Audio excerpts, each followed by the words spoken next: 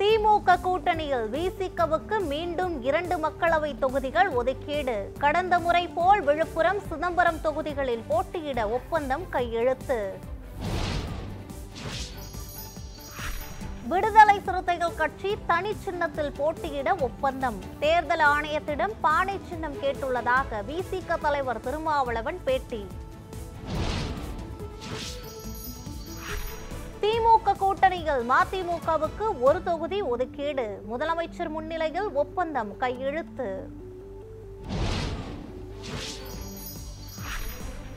மதிமுக தனிச்சின்னத்தில் போட்டி என வைகோ பேட்டி. மாநிலங்களவை சீட் குறித்து பேசவில்லை எனவும் தகவல்.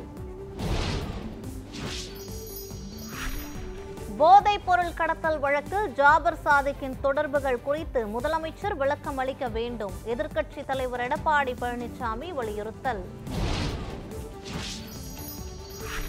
ஜாபர் சாதிக் விவகாரத்தில் டிஜிபி சங்கர் ஜிவாலை திமுக அரசு பலிக்காட ஆக்குகிறது. கோவையில் அண்ணாமலை பேட்டி.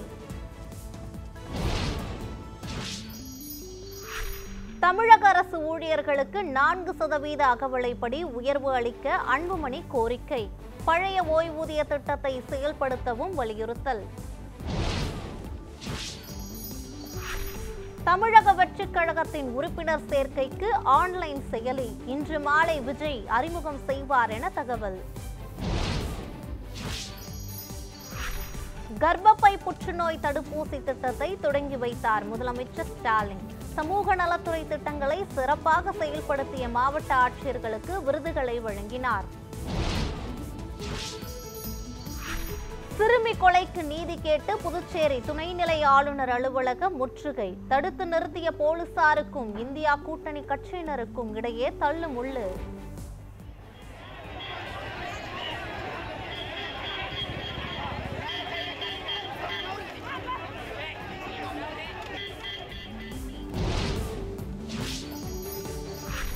மக்களுக்கு பணி செய்யும் நிலையில் நெல்லை மேயர் இல்லை. மாநகராட்சி திமுக கவுன்சிலர் பேசிய ஆடியோ வெளியானதால் பரபரப்பு.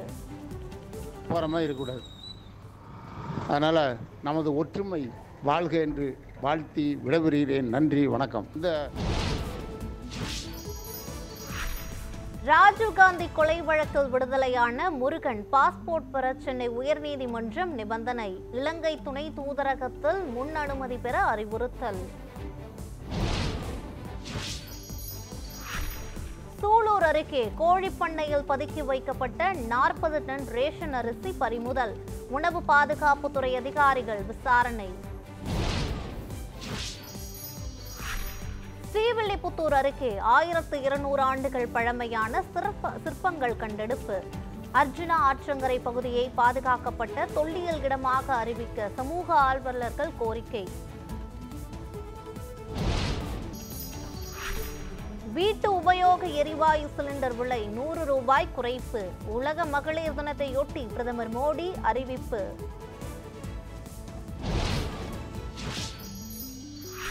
நடிகர் அஜித்துக்கு மூளையில் அறுவை சிகிச்சை நடைபெறவில்லை. காதில் ஏற்பட்ட உபாதைக்கு சிகிச்சை பெற்றதாக மேலாளர் விளக்கம்.